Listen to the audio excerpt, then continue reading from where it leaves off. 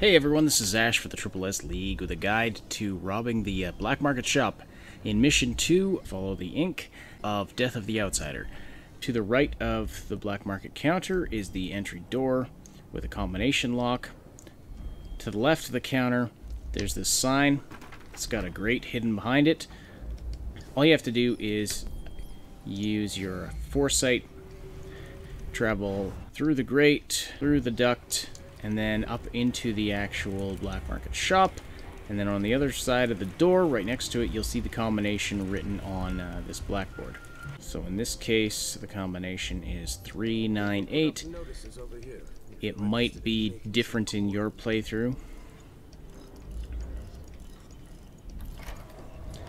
And of course, uh, this guy's got lots of bone charms in stock that you can help yourself to without having to pay for them.